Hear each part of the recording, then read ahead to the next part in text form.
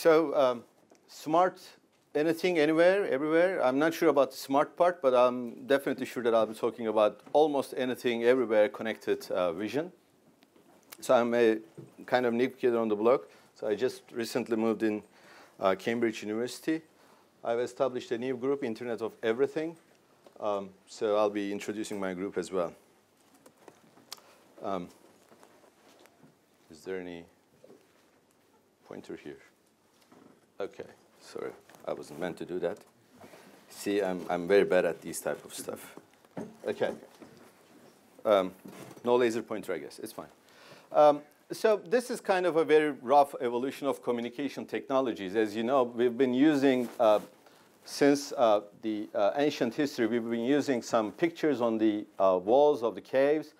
We've been using smoke pigeons, visual uh, telegraph by Claude Chappé, French inventor, uh, electrical wires, and then uh, you know tons of different versions of electrical communications, including radio waves, you know 5G, etc. And I'll be talking about some uh, kind of science fiction, but not that much. Uh, it's happening right now. Molecular, Internet of Molecular Things, bio nano things, Internet of Senses. So I'll be going through all different Internet of X people are talking about or working, spending money, spending their time, okay? So uh, I'm not any way suggesting that we are working in all of these, but I just wanted to, you know, uh, go through and elaborate and show the possible research directions. Like even people are working on Internet of Senses, uh, very interesting direction, in my opinion. Neutrino networks, this is an actually neutrino transceiver, well, not transceiver, but the receiver. It weighs 19,000 tons. Uh, it should be larger than, this is an actual picture of a, uh, of a research uh, uh, uh, uh, uh consortium in US called Minerva Consortium. It should be this building size. People are working on gravitational communication networks. There are patents on this. There are labs spending money for using gravitational wave, which has been just you know, physically proven a couple of years ago, as you know, in Stanford. And bottom line, Internet of Everything is kind of a, a vision that we have. So, um, so what do we mean by Internet of Everything? So, you know, mass is energy and energy is information. Everything is connected to each other. So we can really, if you know the, uh, if you have the energy, you can convert it to mass or the other way around, theoretically speaking, of course. If you have the information, you can even, uh, with the Szilard's engine uh, experiment, I cannot go into details because I don't have time for that, but we can talk about it later on. You can even uh, convert information into energy. So everything is actually kind of connected. I'm not talking about some philosophical or abstract view here, but that's also uh, the case. Uh, but um, when we say Internet of Everything, we're not talking about just Internet of Things, like this microphone, our watch, our wearable devices that connect to each other, but more actually like um, some, some part of our tissues, certain cells, like several parts of uh, cardiomyocytes in our hearts, they're also connected. They might be connected, and you may want to connect them to the rest of the internet. How? Through different communication technologies, not necessarily electromagnetic waves or whatever. We need to think out of the box. So in that sense, uh, everything, Internet of Everything is actually around us. By the way, Internet of Everything is coined by Cisco, not in this direction, but it was kind of Internet of Things plus processes and algorithms and, and, and some you know, uh, uh, uh, behaviors. So this is kind of a little bit further extending it. And actually, um, I mean, there are tons of examples of this, like Internet of Genes or gene regulatory networks inside us make us, you know, uh, healthy people or, or unhealthy people. Or the, the entire human body you can think of as the most complicated communication system. So if there is a communication failure in your nervous system, then you have MS or Alzheimer's even, tons of different illnesses. So communication is related to uh, certain processes inside um, human body as well. So in a very recent work, um, it, you know, some parts of the brain are uh, conventionally associated with uh, certain uh, behaviors like uh, uh, you know, thinking analytically, and emotional thinking, listening, vision, etc. But what has been recently showed that you know, the creativity is not associated to a certain part, but the connectivity among all these parts. Okay, so connectivity is very important in that sense. So people are uh, starting to think about all these uh, processes inside human body and outside in the entire universe from the communication perspective, with just the idea of getting uh, further insights to to help uh, solve some engineering problems. So in, in our vision, universe is, the, is basically the internet of everything, connection of anything that you can think of, okay? So uh, it's already surrounding us, and our vision uh, in, in our research is to understand the rules and the dynamics from communication engineering perspective. I'm a communication engineer by education, so I've been working with physicists, I've been working with uh, life scientists in all different uh, directions, trying to understand different communication design principles, basically, uh, to come up with some uh, new technologies for artificial uh, networks of, let, us say, nanomachines, or networks of certain cells inside body, or even uh, people are trying to do the same thing to realize new communication technologies between planets, for example, like nutritional uh, or neutrino communication links. So, uh, but if we, if we look back a little bit to Internet of Everything, you know, this is a kind of superposition of all the definitions that you can see in the literature. So in a framework in which all things have a representation in the internet, all things meaning physical and virtual. So physical things basically include, in our vision, everything up to the uh, molecular level. So these are some of the IOX. People are spending uh, time and money, as you all know very well, industrial Internet of Things taking a lot of money. I even had some uh, market uh, analysis uh, with some uh, companies. Uh, that is the top ranking IOX, so to say, that you know big companies are backing up. Uh, Internet of Bio and Things is just emerging. Um, and we will go through some of these. They have basically some common challenges, like enormous number of interconnected entities, close interaction, blah, blah, you know all these, but basically enormous number of interconnected entities, but with interaction requirement between heterogeneous technologies, not only heterogeneous technologies, but totally different worlds, require looking at the problem domain um, out of box again. So these are a little bit detailed view of the key challenges. By the way, I'll be uh, going through some of these a little bit fast, and I have several references underneath. If you're interested, you can send me an email. I can share these slides with you. Okay, no problem with that uh, because uh, I'll be going a little bit fast. So like um, one problem or, or one uh, salient feature of Internet of Things or in general Internet of Everything is um, uh, in addition to you know, classical challenges like connectivity, scarcity of bandwidth, energy, efficiency, etc., is the application-driven networking. So you have a specific application in mind, so your solutions should be tailored to that specific application, okay? But at the same time, we're talking about Internet of X, so we need to be connecting that application to the Internet, requiring interoperability. So these things seem to be contradicting. So how are we going to solve all these? Unfortunately, I will not be talking about much uh, on the solutions part. I'll be introducing more problems, uh, including some of the preliminary work we have done and others done. Okay, so we will uh, start browsing from the molecules to the universe side.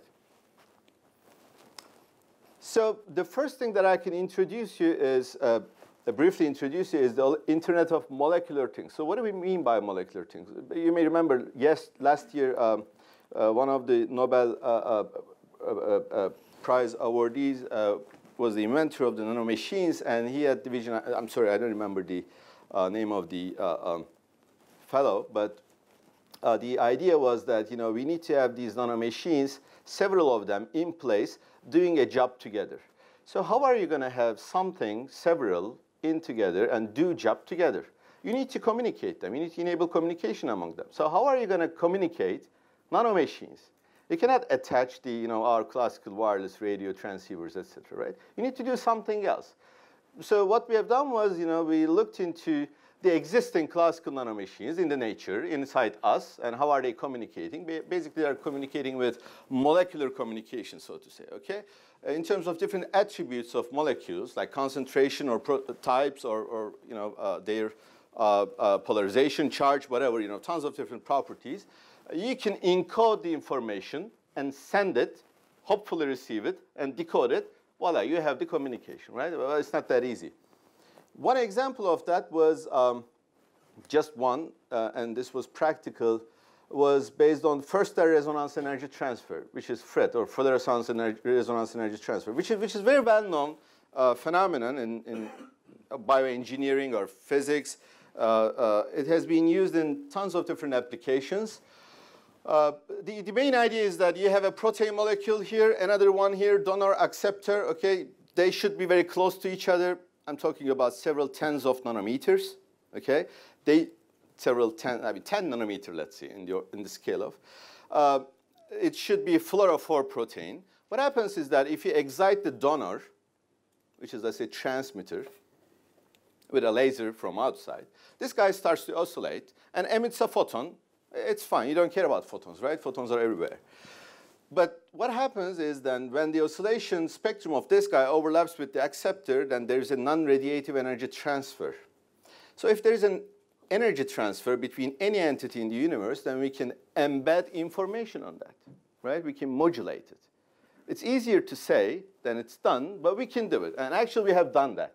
In an experimentally, you can, you can download the you know, audio files, etc. We have even passed the Bob Dylan's House of the Rising Sun before he, he was actually uh, uh, nominated for the Nobel Prize. So that was the first practical molecular communication, artificial basically, realized in the, in, the, in the lab. So what is the use of this? I don't know. I mean, I can imagine many uses, but I cannot do it because I need to excite these protein molecules uh, the idea was to embed it inside human body so that they could be you know, gateways or transducers to the outside, but I cannot excite the proteins inside the human body with the external laser source for the time being. But if I can extract or scavenge or, or harvest sufficient amount of energy inside the body, then this might be a possibility later on for a little bit you know, farther uh, idea of, of, of Internet of everything, let's say. So there are tons of uh, opportunities for, for uh, collaborations. So I'll, I'll, I'll, be talking about these at the end if I have time. So in all these directions that we have worked so far. So Internet of Nanobio things is another direction. So that was just for the molecular uh, uh communication perspective. By the way, by the way uh, Internet of Nano Things has been listed as the top, one of the top 10 emerging technologies in 2016 by World Economic Forum. So this is really happening right now. And ComSoc, IEEE ComSoc, has also listed this, uh, both IoT, IoE, and molecular communications as the one of the you know, emerging trends in 2017. So these are really taking up right now as a very young and interdisciplinary research directions.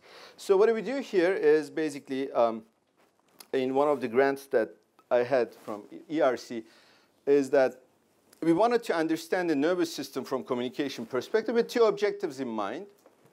One is to uh, extract some design principles to really, uh, again, realize artificial communication between that small, tiny stuff. Because we know that nervous system is an excellent communication uh, uh system, you know, thanks to million years of evolution.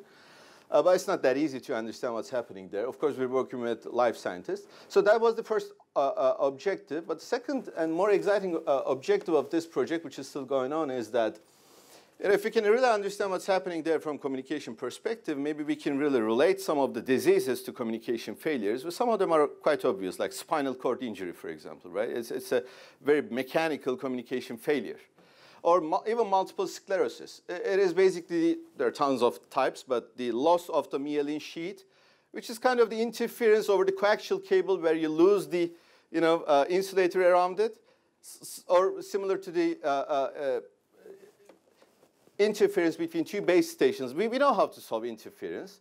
We know channel equalization techniques and all. Can we use our engineering, not us only, but human beings engineering technologies to help life scientists to solve uh, uh, some life science problems. So, so these are the directions that we are following in the Internet of Everything.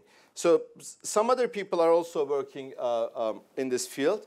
Uh, like the leftmost one is the new bio-cyber interface we have designed, but we will be uh, implementing here in Cambridge. But the, the middle one is from Berkeley, from Alex Zettl Lab. It's an actual picture, not a drawing, of a radio.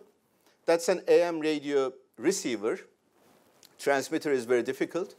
Um, so what they can do is that they can receive an AM amplitude modulated radio wave basically and demodulate it and listen to it with this very tiny radio. So they have been working on uh, try, you know, trying to realize the transmitter counterpart of this. it, it is difficult because of the physics.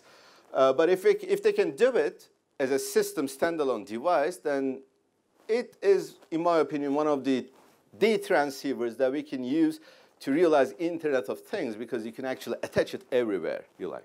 But there are tons of challenges ahead. Other people are working on graphene-based terahertz uh, uh, transceivers uh, inside laboratories. So addressing all these different challenges. So I'll, I'll, I'll a little bit uh, speed up here. So uh, again, some, uh, one of the directions for communicating the spine with the graphene-based neural interfaces to the rest of the internet or to the, to the problem, uh, uh, problematic part of the, or the rest of the spine, spinal uh, cord, let's say. Another uh, very interesting direction is to do the molecular communication using different types of materials inside a room. Instead of using acoustic or electromagnetic wave, can we use simple, simply a certain set of molecules to communicate between myself and my fellow over there, which cannot be detected by any of the classical um, detection methods. You can imagine there are tons of applications. Okay, so I'm wrapping up. Uh, so the rest are basically uh, tons of different directions, which I do not work on directly, but I'm aware of that. There are many uh, references, again, as I told you before. If you're interested, I can share these slides with you, no problem with that and you can, you can further elaborate. So Internet of Senses is a fantastic direction that people are trying to pass a sense, all senses basically, of a human being to some other place in other time on the surface of the earth. So this is not just you know, communicating or, or replicating the view of the camera here. It's just trying to send the senses of the, of the cortex to some other place. It's, it's, a very interesting direction. There are, some, uh, there are some projects going on in, in the US as well. Internet of Sensors, classical direction, uh, but with energy harvesting stuff, it's, it's again uh, very important. Uh, we had very nice talks in the morning session. I think there's a nice opportunity to, to uh, go for it, very large scale, uh, battery free, totally battery free and passive sensor networks again. So 5G, let me go. Internet of Energy, again, another direction, uh, coined by some other people. Uh, pass the energy and communicate and carry the energy together. Um, so I promised my session chair, and I'm trying to keep my promise. I'll, I'll finish in the, in the next minute. Is that okay? Great, okay. Internet of Vehicles sounds uh, uh you know, quite obvious. But Internet of Battlefield things, it's very interesting direction. I know uh, uh, DARPA uh, uh, reserved several hundred of million dollars for only Internet of Battlefield things, not on Internet of Things. So uh, you can guess the meaning of Internet of Battlefield things, but it's a very emerging uh, field. I, have been an evaluator in one of the panels there, so there are tons of projects uh, being proposed and researchers are working on this. Um, this is more classical. Non-classical one, Internet of Money. Uh, Bitcoin has just dropped two days ago, but still people are working on Internet of Money. Very interesting direction. I have no idea about money and all, but if you're interested, you can, you can further elaborate. And Internet of Space. You know, including even Google are you know, spending a lot of money on, on space exploration, and they're trying to now send thousands of devices around the, around the planets, not only Earth, but around Mars and several others. So how are we going to communicate all these? The, the classical internet-based communication techniques will not work with that high latency uh, channels and very, very uh, problematic channels. So all these needs, all these challenges need to be uh, uh, uh addressed. So this is the open issues, but basically I have already talked about all the open issues so far. I haven't even mentioned any, any solution. I'm aware of that. So if you're interested, you can go over all these.